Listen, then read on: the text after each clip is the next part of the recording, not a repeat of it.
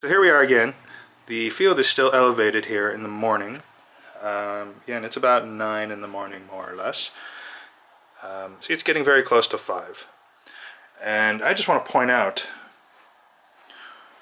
for the past couple weeks, I've had the bed oriented in this direction, in this corner, okay? Because I found the magnetic fields to be lower, okay?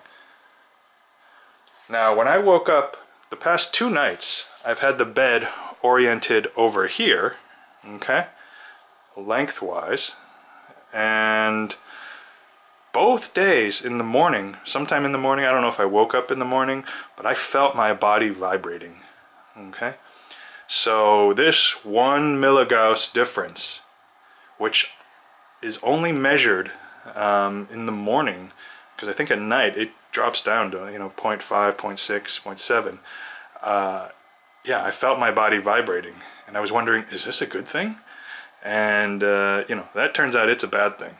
So, most people that know me, I'm a pretty calm person, so I can sense differences like this. Um, and, you know, that is not good from a health perspective.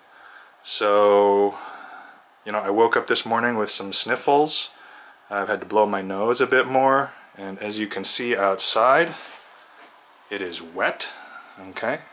So there's tree pollen should not be an issue. Um, but magnetic fields, it, you know, it weakens your immune system. Uh, I felt a little bit more thirstier than normal, okay?